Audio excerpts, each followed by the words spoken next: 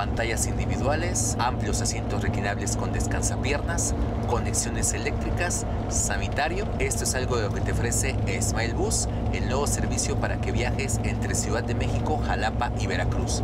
Si quieres ver cómo es la experiencia de viaje en esta línea, acompáñame a este video. Mi nombre es David Gasca y te doy la bienvenida a bordo.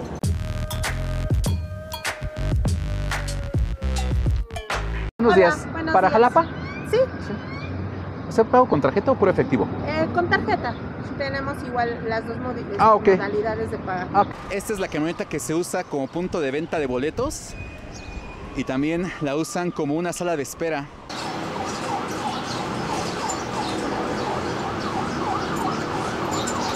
El punto de abordaje se encuentra frente al eh, edificio de la Lotería Nacional aquí en Ciudad de México. Ahí al fondo está el Monumento a la Revolución. Ahí está la página de internet donde puedes comprar tus boletos. Y esta es la unidad en la cual vamos a viajar en esta ocasión.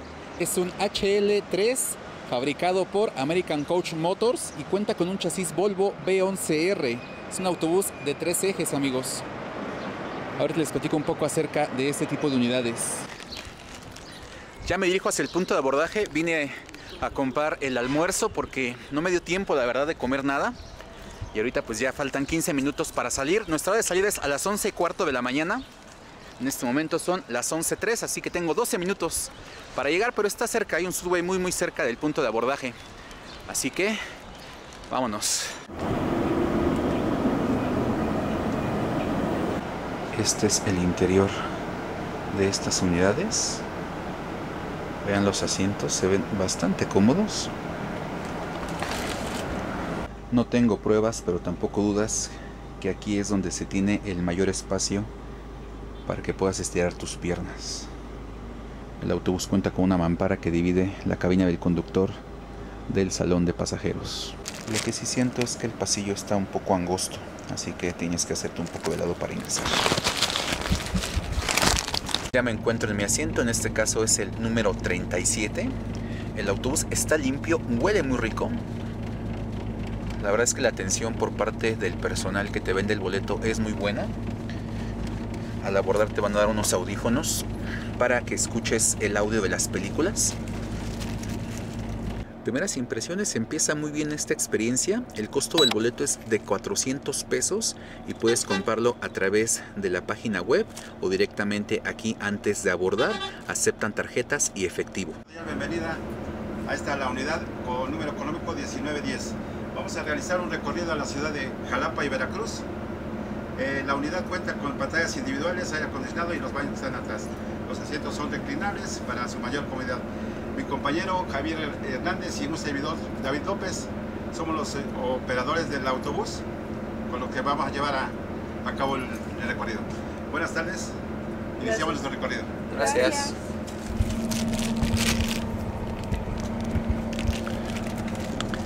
Detalle importantísimo, presentación por parte del conductor con los atributos que tiene este servicio. Así que, segundo punto positivo para esta experiencia. 11.15 de la mañana y de manera puntual estamos iniciando el viaje. Punto muy positivo, iniciando exactamente la experiencia a la hora marcada en el boleto.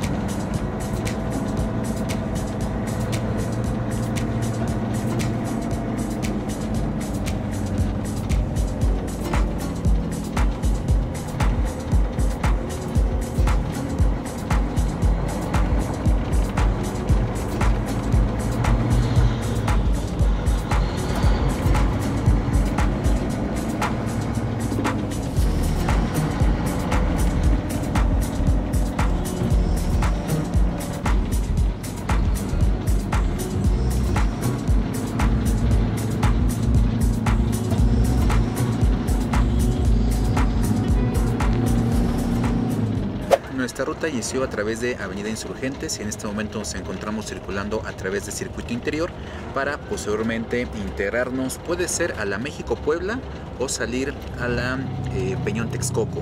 Vamos a ver por qué ruta se va a ir este servicio. Acabamos de iniciar el viaje y el, uno de los conductores, porque vienen dos a bordo, vino a preguntar a los pasajeros que si todo bien. Entonces creo que la atención al pasajero es una parte primordial de este servicio y eso me gusta bastante.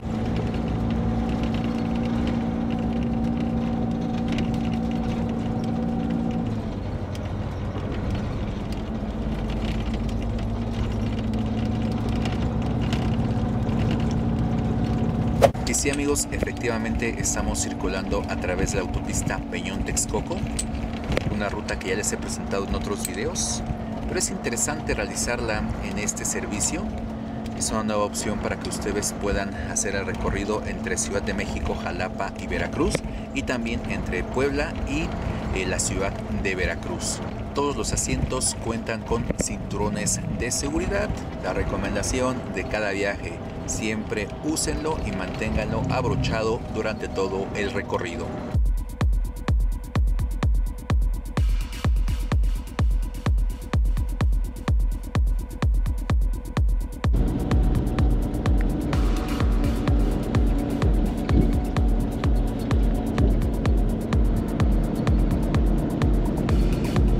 del día con 5 minutos y estamos llegando a Texcoco ha transcurrido sin inconvenientes en el tramo de la autopista Peñón-Texcoco. En este momento ya estamos viajando a través de la carretera 136 que nos va a llevar al siguiente punto de interés que es Calpulalpan.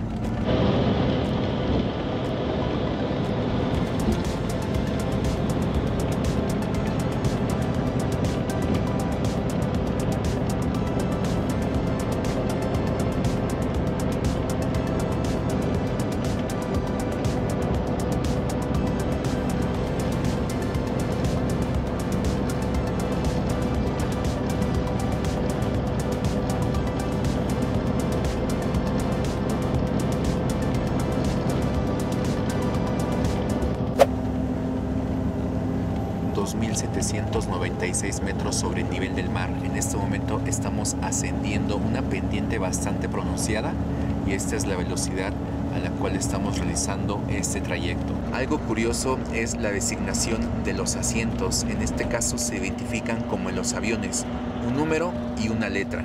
Estoy viajando en la fila 10, asiento A. El de aquí al lado también es la fila 10, pero es el asiento B. El de aquel lado es el C el siguiente es el D. Aunque en teoría yo estoy viajando en el asiento número 37 y en total esta unidad cuenta con 42 asientos. Vamos a ver qué tanto se pueden reclinar.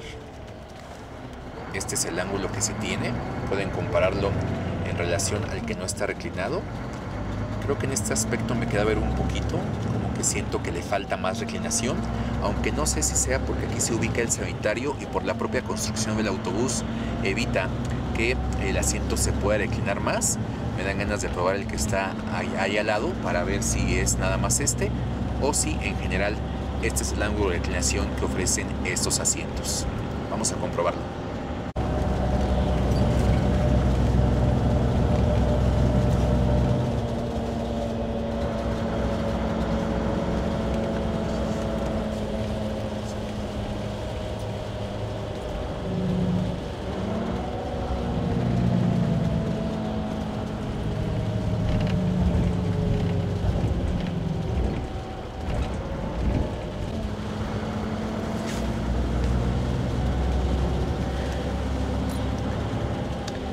Efectivamente, el ángulo de reclinación limitado es debido al sanitario, así que ya saben que pueden viajar en otros lugares para que tengan un mayor ángulo de reclinación.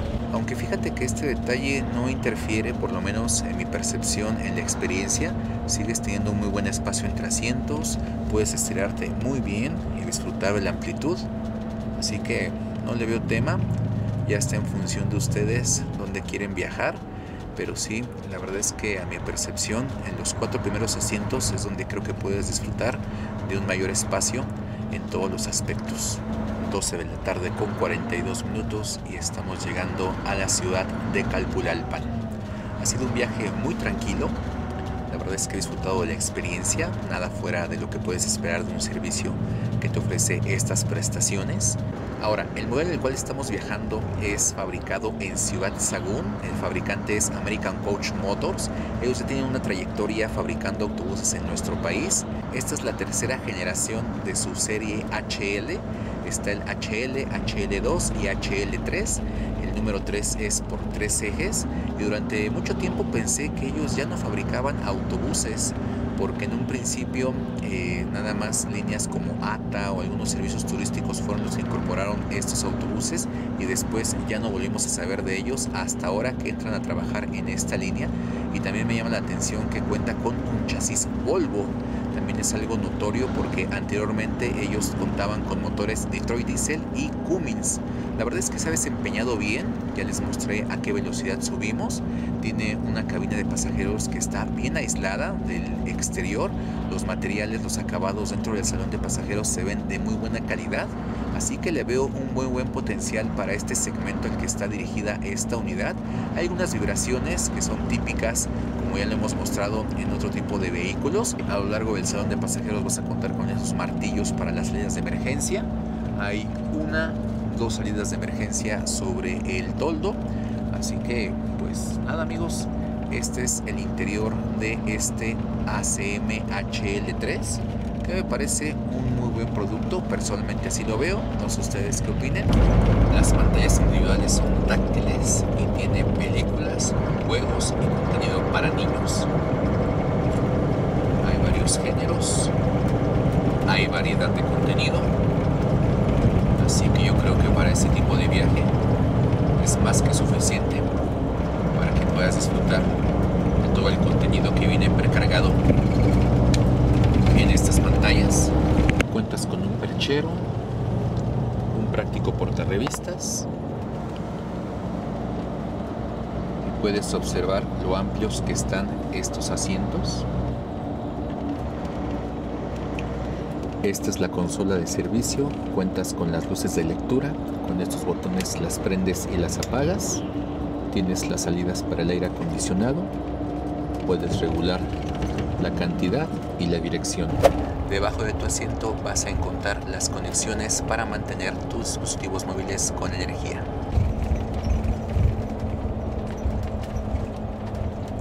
Y como ven, están funcionando. En la parte trasera se cuenta con un sanitario. Vamos a conocerlo.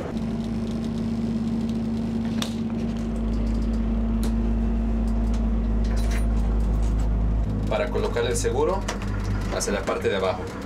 Ahí ya está puesto. Tenemos nuestro pasamanos, un dispensador de gel, botón de descarga del inodoro. Tenemos un dispensador para toallas, otro pasamanos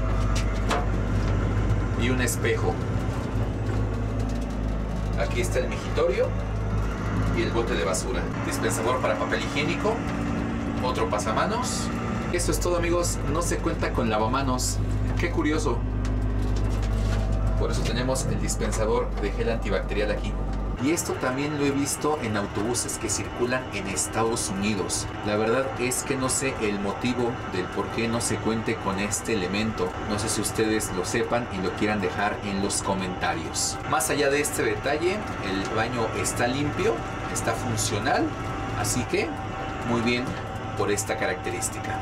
2 de la tarde con 3 minutos nos encontramos en un lugar que se llama Coapiaxtla.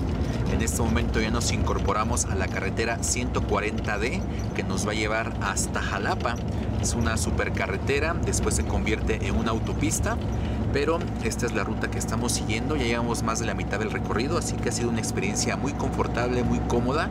La he disfrutado bastante. Créanme que todos los servicios que tiene el autobús y todo lo que es en general la conducción y todo lo que es esto que me rodea en esta experiencia, creo que ha sido de lo mejor. Así que si tú me preguntas, David Gasca, ¿vas a recomendar este servicio? La respuesta es que sí, altamente recomendable para que ustedes puedan viajar en esta ruta.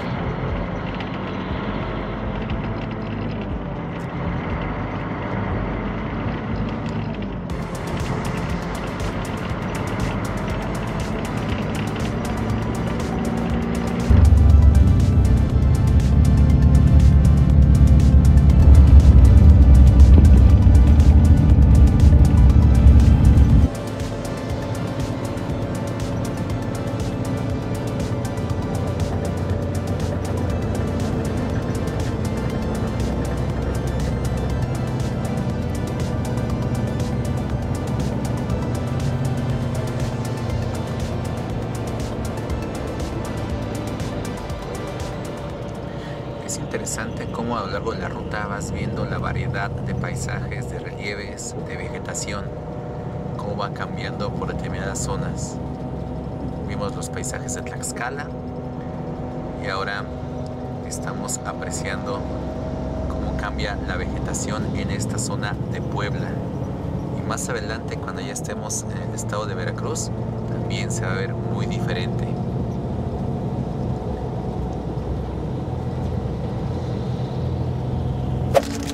Ya se enfrió mi, mi comida.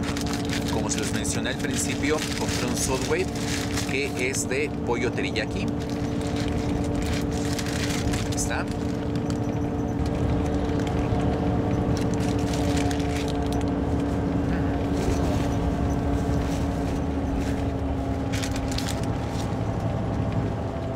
Por cierto, cuando ustedes viajan, ¿cuál es su asiento favorito? ¿Cuál es el número que siempre piden? Déjenmelo en los comentarios. Yo personalmente siempre prefiero los primeros cuatro. El 3 y el 4 para mí son los mejores. Porque cuando trae mampara te permite observar todo el panorama de la carretera y la operación de la unidad. Pero cuando los autobuses traen mampara, prefiero viajar en la parte trasera como ahorita. 3 de la tarde con un minuto y acabamos de pasar la caseta de la autopista Perote Veracruz. Estamos aproximadamente a una hora de llegar a nuestro destino. Vamos a comenzar un descenso por una zona llena de vegetación y muy bonitos paisajes, así que continuamos con nuestra experiencia.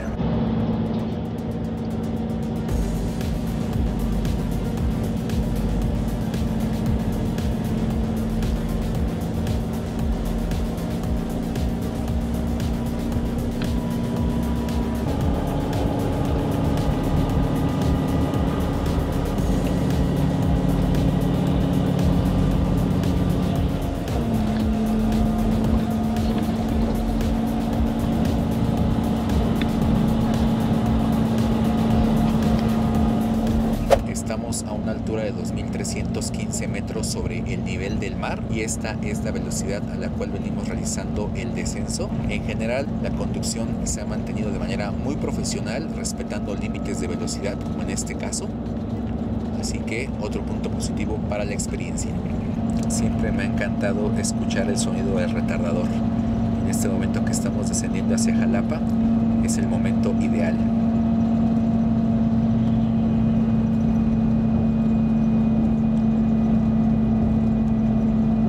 Laxio también disfrutas de este sonido. Por cierto, quiero dar la bienvenida a David Matías Hernández, quien recientemente se unió a la comunidad de miembros del canal. Ustedes saben que eh, mediante esta membresía, ustedes con una aportación mensual me ayudan a continuar generando contenido como este de experiencias de viaje, a mejorar el equipo de grabación y el equipo de edición. A cambio de ello puedes acceder a beneficios adicionales como menciones en las experiencias de viaje, contenido adicional en los videos, eh, acceso anticipado a los videos del canal y otros beneficios que puedes descubrir en el enlace que aparece en la descripción de este video. Si te gustaría formar parte de la comunidad de miembros del canal, te lo agradecería mucho, me encantará verte ahí dentro de esta comunidad. 3 de la tarde con 19 minutos y estamos entrando a la ciudad de Jalapa. Estamos muy cerca de llegar a nuestro destino. En un momento más les voy a mostrar dónde se ubica exactamente el punto de abordaje para que ustedes puedan llegar fácilmente.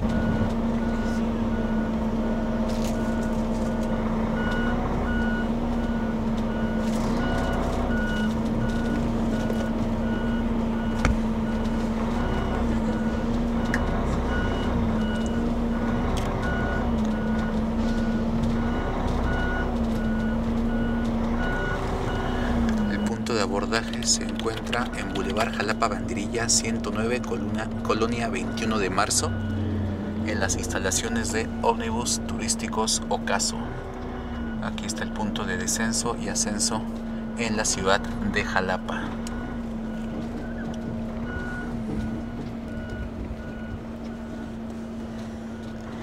Y siendo las 3 de la tarde con 25 minutos, hemos llegado a nuestro destino. ¿Qué les pareció esta experiencia de viaje? Si el video te gustó, por favor déjame tu valioso like y compártelo con más apasionados de los viajes por autobús. Ahora vamos a descender. Buenas tardes. Hola, buenas tardes. Adelante. Gracias. Que le vaya muy bien. Gracias. Uf, qué calor. Qué calor, qué calor.